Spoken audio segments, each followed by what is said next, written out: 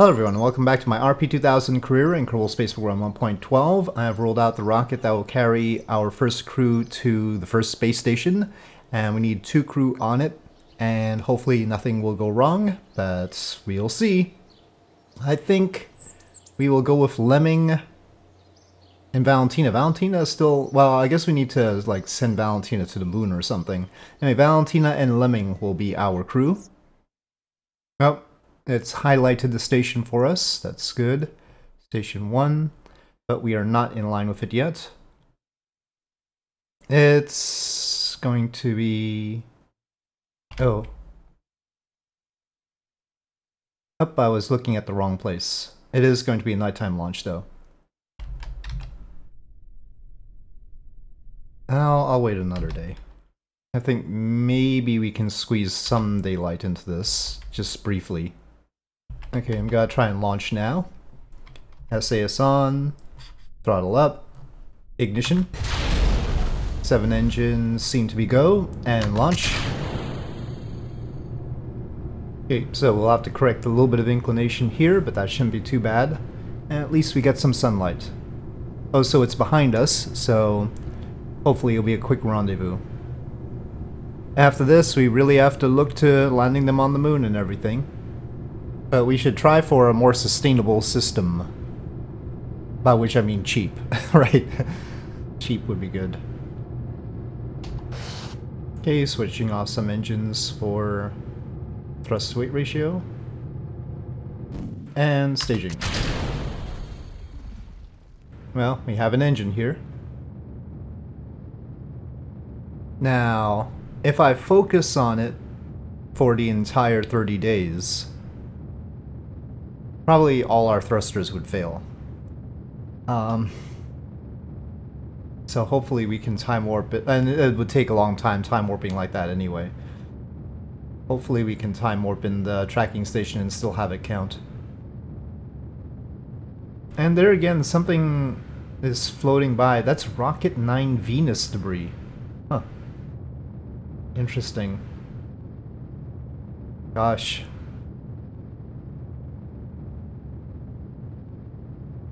We could legit have Kessler syndrome, huh? I mean, I'm not that bad right now. Do I do, do like leaving the debris? Of course, I launch a lot of stuff into this particular inclination in orbit, in line with the moon. So, this is the most likely place to find stuff. Okay, we'll dump the stage. Alright. Stage set.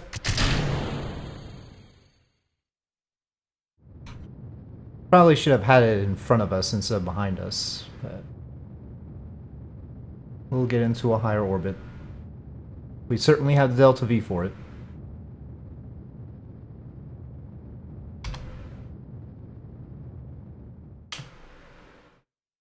Well, I'll get into an even higher orbit. Uh, I'd actually like to meet up with it over there. So, cancel that. Uh, I should have knocked off the cap earlier. Okay, normal.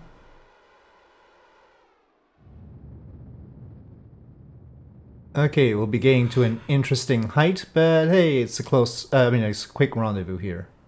Okay, well, we'll have to fine tune it a little bit, but 867 kilometers on the high end didn't require us to. I mean, it did require us to stay below 2,000 kilometers. So actually, I wonder what would have happened if I passed that temporarily. I don't think passing it temporarily would have been a problem. I'm not sure. Okay, one more correction over there to correct our inclination. Well, closest approach within 300 meters. Seems good. Oh no, turned quickly. No, there goes uh, within 300 meters. Really taking advantage of my overwhelming delta V here. Oh, we don't have the forward ones active. Whoops.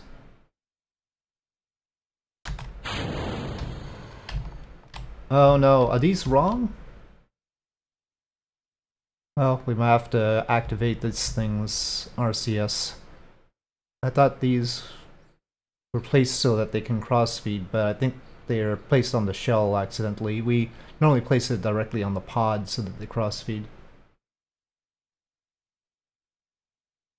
The station itself already has problems, but that's realistic.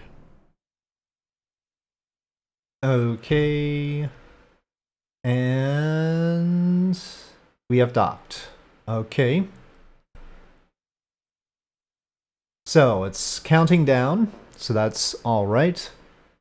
We're in a nice happy orbit. Got two crew. Now I have to see whether it works if we are at the tracking station instead. So, so far, TAC life support, we've got plenty. Uh, let's say we fail for 30 days. We still have enough to retry it without bringing them back first or anything like that. So, to the tracking station. Basically need to wait until April. April 18th.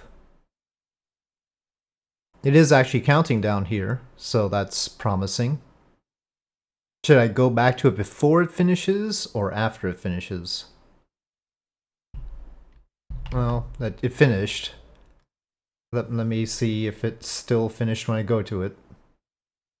It appears to be finished. Okay, so now we just have to bring them back down. I think this would be a good place. I never actually moved them into the station. Well, looks like it's got this vessel. We're sort of going for an Indian Ocean splashdown, or maybe over here in the Pacific kind of splashdown right now. It'll be fine. Ignition.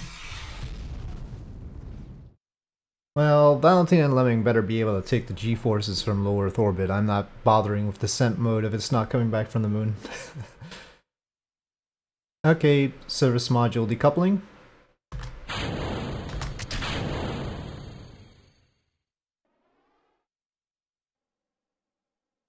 Alright, we are in the atmosphere.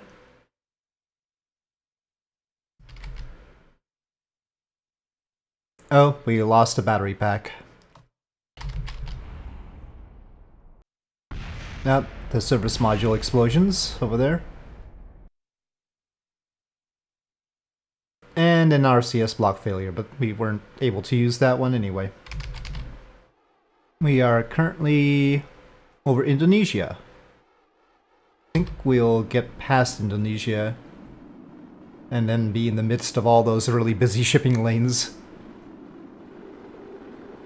Yes, there'll be a boat to pick us up over there. G-forces, sorta serious. Lemming's having a little bit of difficulty, but you know, it's lower orbit. So, right here. Just south of uh, Singapore. Lemming's fine, look at him.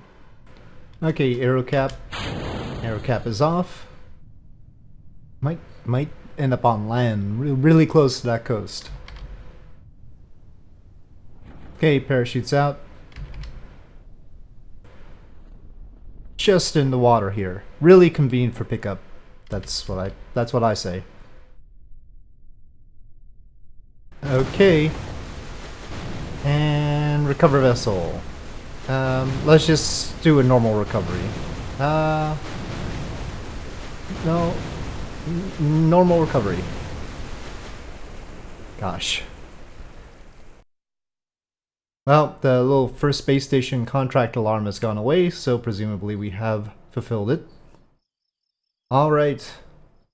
We got some funds back for that. Well, I'm going to try to do the launch pad upgrade. So that we can do larger missions. So that's 2 million down the drain. um, and we'll have to wait for that to finish before rolling anything out. So 738,000 is what we have left to work with. Let's take a look at our contracts. Oh, uh, let's see. What other windows do we have? We should have some transfer windows listed. Let's say to Mars. Okay. 254 days. That's a little bit tight, isn't it? 239 days. How quickly can we build a rocket? Um, well, that depends on how many upgrade points you want to throw at it. Can't really do a speed up on this by paying them more. Uh, we would have to upgrade the speed at which we build things. Upgrade points. Okay, Jupiter. We would probably have to wait for that one, yeah. Venus. That's too soon. We'll consider that later. Saturn is getting pretty far out. We haven't demonstrated a good ability to generate power that far. Maybe Ceres. Okay, now let's see our contracts. Position Jupiter mission in adjusted orbit of Jupiter. That's interesting. Well, I don't think that's going to work because it doesn't have the ability to keep up its power, and I don't remember it having much delta V left, so we would probably have to send something new. We can't reposition that one. Specific orbit of Europa. Well, that's more interesting. That... oh, this, this is the polar orbit of the moon. This one's Europa. We already got the polar orbit around the moon. We should do that just to get the money. Once the pad's upgraded. Of course, we don't have... I think... Don't we have a second pad? Do, right? Forget. Okay, I'm forgetting whether that was RP1 or RP2000. Okay, so that's the problem with doing all these career modes. Um, eventually they all get mushed together. I think we can do this. 37 years, we've got the time. We'll get the advance, so that makes me happier. Equatorial orbit of Deimos, that's a little bit too tight. I feel like we're going to bump into something, right?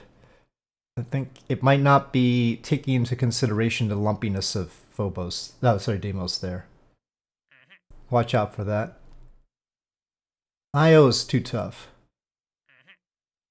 Did we not do the Deimos flyby?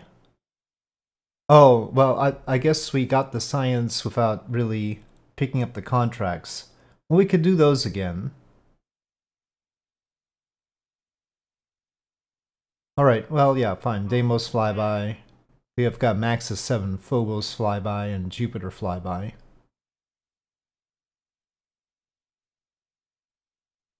Okay, yeah, it's about time we knock those out.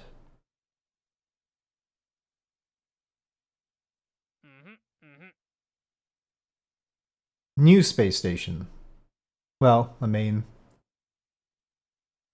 that can be done, but let's not in this case. This one's actually 2 to low lunar orbit. That we can do, but we'll wait on actually picking that up because its duration is only 2 years. So that will be a thing that we are going to try to do prior to crewed lunar landing, which will give us an advance of 1.1 million. Successful reentry I probably should have just knocked out by now. The problem is it's uncrewed, so we haven't had much reason for that. Uh, Jupiter orbit uncrewed should be done when we do the flyby, the probe should be able to capture into orbit pretty easily. But I'm running out of contract slots now. So, shouldn't have picked up so many. I'll leave that be for now too, until we knock out that uh, lunar orbit one. This polar orbit of the moon, we can knock that out, and then we can pick up the, well, there's a lot of juicy contracts, to be honest. We'll see. Um, you know, moon orbit, I mean, if we're going to do position polar orbit around the moon with this one, this doesn't, uh, let me just see. I don't think it requires anything that would conflict with this. So, all right, we'll do that moon orbit as well. So we're full up on contracts. We need the funding in order to do the moon missions especially if we want to do them in a sustainable way. So now I'm just waiting for the pad. Do we have another pad? current pad. Okay, so we have this pad 2 we could use, actually. Alright, let me try and cook up that moon mission. Well, this was a lander. We don't need all this business. We need a pla radio plasma wave antenna. And we might as well put a magnetometer boom to counterbalance it. And then some solar panels. Well, it's got plenty of Delta V to do the job. Let's just pack it up and go with it. Just call it Usagi 2. Well, we'll have to see when the lineup with the moon is, but I think we should be able to launch in daylight. Okay, as expected, SAS on, throttle is up, and ignition. We have three engines, and go. Odyssey rocket. This has SE2100 engines at the bottom burning kerosene and oxygen. Well, we're through max Q. Okay, and staging. And fairings. So these are SE 2006 AB engines. They also use kerosene and oxygen. They're sort of like the RD68s in that they're efficient vacuum kerolox engines.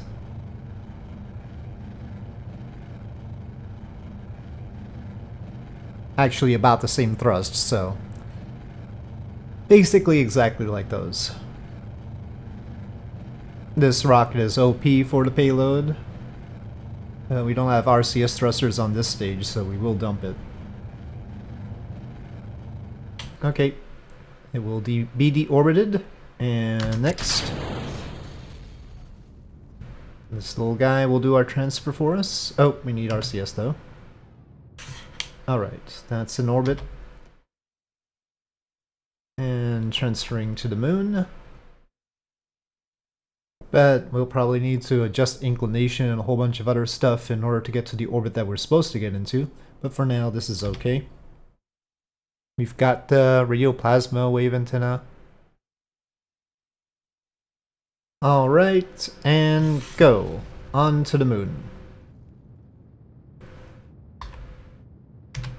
Okay. Well, I guess that's the orbit we need to get into. Well, I'll work on that for when we get into the moon's SOI. I want to actually capture right above it like this. Keep it loose so that we can turn. Need a little bit radial. So our periapsis is actually here. How much is that? 559. I mean, we should have enough. We've got a lot in this thing. So that's how it's going to be initially. And on we go. Interplanetary COM dish alpha communication failure. Oh, that's a bit of a problem. Hey, there's Earth. There's the moon. We have a lot less delta V in here than I remember. Ah, it was lying. Ah, that thing. Okay, and then that burn over there. short circuit and more modern control core. That's just the battery thing, but still. And go. Staging. Oh, right. Probably inter uh, interplanetary com dish is still working anyway because um, the failure mod does not understand real antenna. Okay, well that looks pretty good for now. We will do that. Hopefully no more batteries will be at issue. Okay, tilt. Tilting will entail a suborbital trajectory temporarily. Well, we'll have to do some correction. But... Let me just match periapses. We do have to collect science for the moon orbit one. Let's see. Any of these got something new? Let me just, I've done, uh, just transmit the null science for it. I generally view the science requirement as just proving that you have a signal. Okay.